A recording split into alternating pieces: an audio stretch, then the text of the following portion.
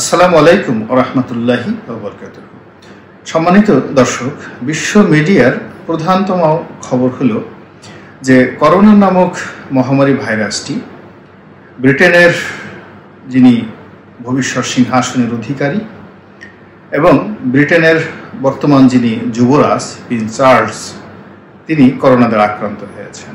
কেবল তাই নয়, করোনা দ্বারা আক্রান্ত হয়েছেন ব্রিটেনের প্রধানমন্ত্রী বরিস জনসন। এবং আমরা ইতিমধ্যে লক্ষ্য করেছি যে বিশ্ব রাজনীতিতে Boris Johnson, Donald Trump, Narendra Modi এই সমস্ত মানুষদেরকে বলা হয় অনেকটা হার্টম্যানশিপ। তারা তাদের মতো চলেন, তাদের মতো কথা বলেন, কে কাদেরকে নিয়ে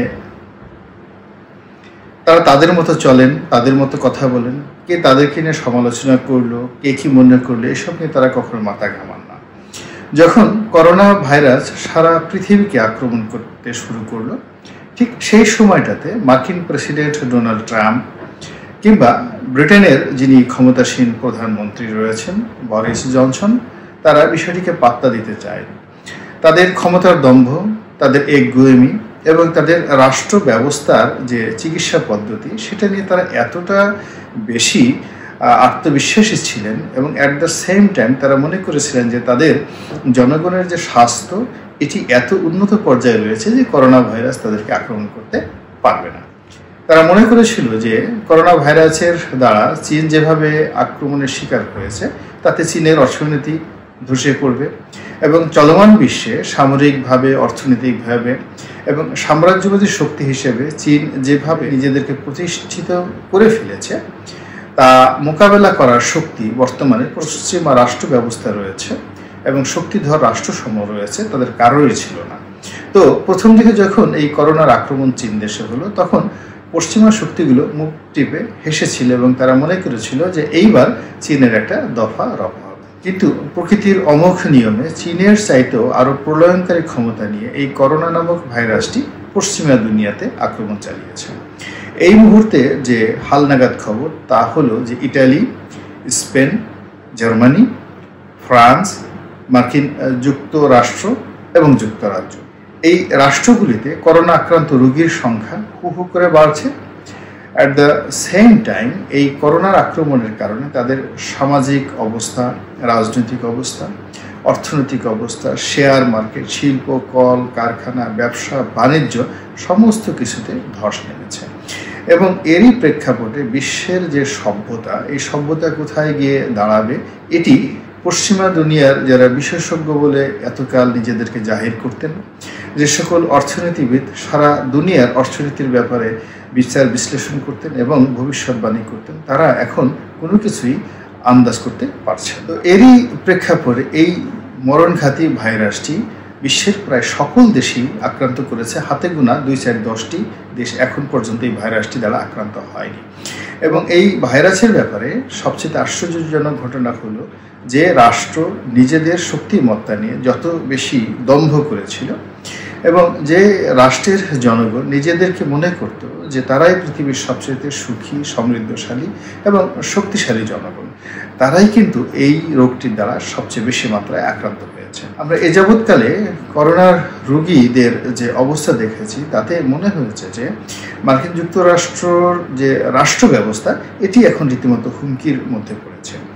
যুক্তরাষ্ট্রের অবস্থাও তদ্রুপ এবং তাদের মধ্যকার অর্থাৎ মার্কিন যুক্তরাষ্ট্র এবং যুক্তরাজ্য, এরা গত ষাট সত্তর বছর যাবৎ যে দ্বিপাক্ষিক সম্পর্ক রক্ষা করে চলছিল এবং এদের যে একটা বন্ধু মহল ছিল, সেখানেও কিন্তু এই করোনার কারণে সম্পর্কের ফাটল ধরেছে। আমরা অনেকেই জানি যে এই করোনা নিয়ে মার্কিন যুক্তরাষ্ট্রের সঙ্গে কানাডার সম্পর্ক খুবই খারাপ অবস্থায় যাচ্ছে। এর কারণ হলো, মার্কিন যুক্তরাষ্ট্র তাদের চিরাচরিত সাম্রাজ্যবাদী মনোভাব এবং দাদাগিরির মনোভাব নিয়ে তারা তাদের দীর্ঘদিনের পরীক্ষিত বন্ধু কানাডার সঙ্গে সম্পর্ক নষ্ট করতে যাচ্ছে। এর কারণ হলো মার্কিন যুক্তরাষ্ট্র এবং কানাডার যে সীমান্ত, এটি মোটামুটি খোলা থাকতো প্রায় সব সময় কানাডার জনগণ অনায়াসে মার্কিন যুক্তরাষ্ট্রে আসতে পারত এবং মার্কিন যুক্তরাষ্ট্রের জনগণ কানাডাতে যেতে পারত। তো এই অবস্থাতে মার্কিন যুক্তরাষ্ট্র কি করেছে? কানাডার সমস্ত সীমান্তগুলো কড়াকড়ি আরোপ করেছে এবং সেই সীমান্তে সৈন্য সমাবেশ করেছে। এই কারণে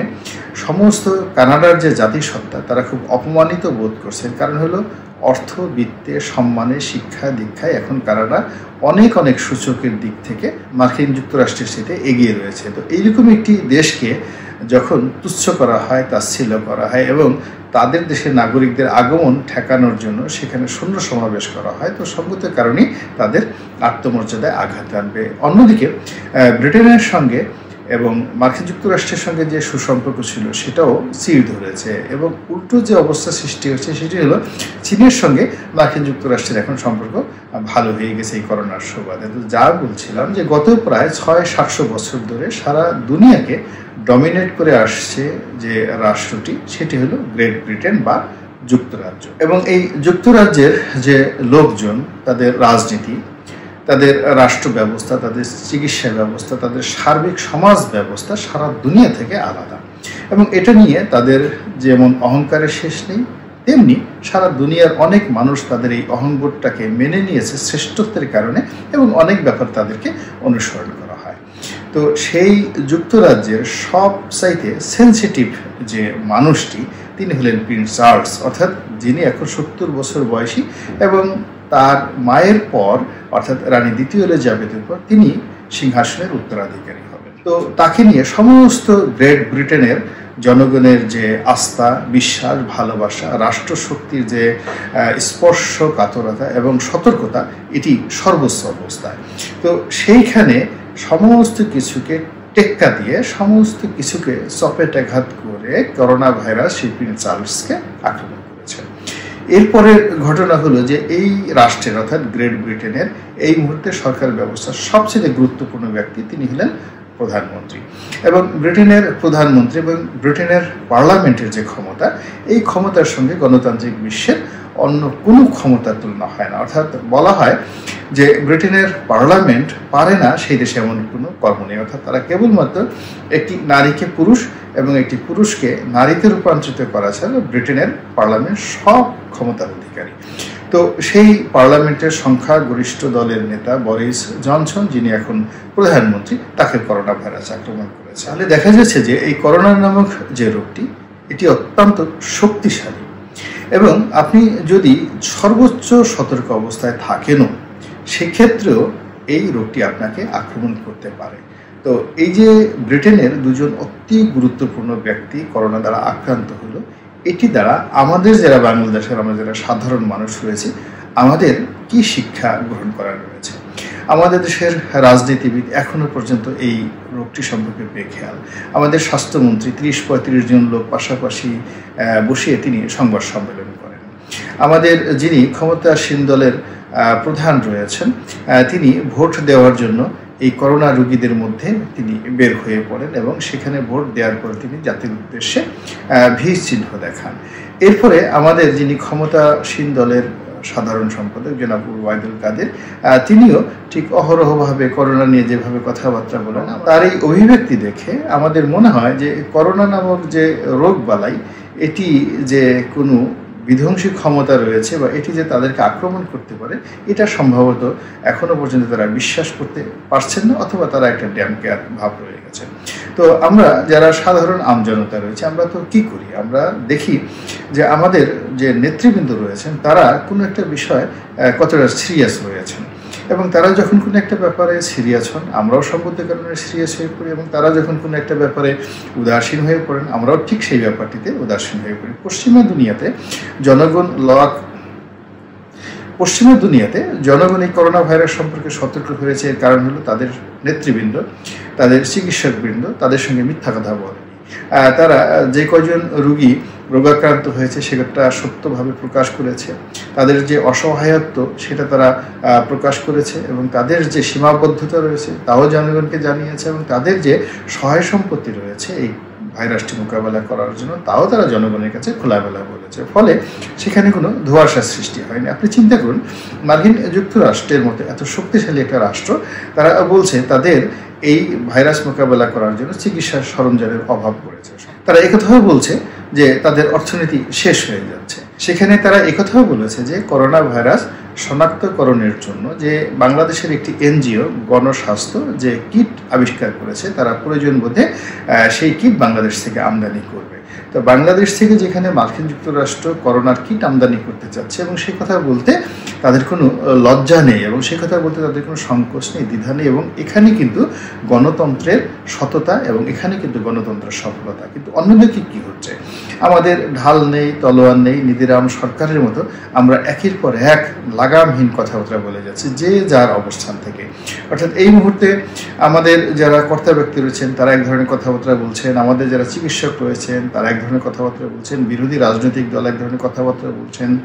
ফলে জনগণ পরিস্থিতি কনফিউজড হইতেছে, তারা বুঝতে পারছে না যে আসলে তাদের আসলে কি করা উচিত। তো সার্বিক অবস্থায় আমার মনে হচ্ছে যে আমরা করোনা নিয়ে এখনও করণীয় ঠিক করতে পারিনি। আগে আমাদের যারা নেতৃবৃন্দ, বিশেষ করে যারা ক্ষমতায় রয়েছেন তাদেরকে অনুধাবন করতে হবে যে এই রোগটিকে তারা কি কেয়ার করবেন নাকি কেয়ার করবেন না? অথবা তাদেরকে বুঝতে হবে যে এই রোগটি যদি ব্রিটেনের যুবরাজকে ধরতে পারে, এই রোগটি যদি ব্রিটেনের প্রধানমন্ত্রীকে ধরতে পারে, তাহলে আমাদের দেশের যারা কর্তা ব্যক্তি রয়েছেন, তারা যদি এই রোগটি দ্বারা আক্রান্ত হন, তাহলে এটি কি খুবই একটা আশ্চর্যের বিষয় হবে?